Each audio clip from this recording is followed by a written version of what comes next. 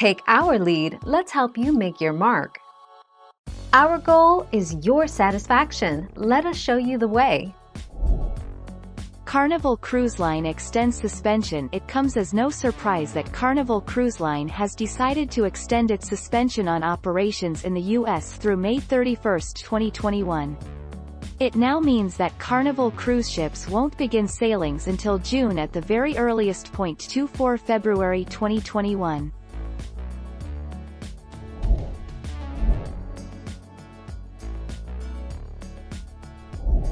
Make your mark, take our lead.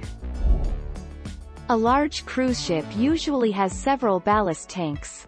So buoyancy, low center of gravity, and ballast keep a cruise ship stable. But there is one natural phenomenon that can still put this vessel at risk. Surprisingly, experts say that no wind can be strong enough to cause a ship to turn over. 2 July 2020.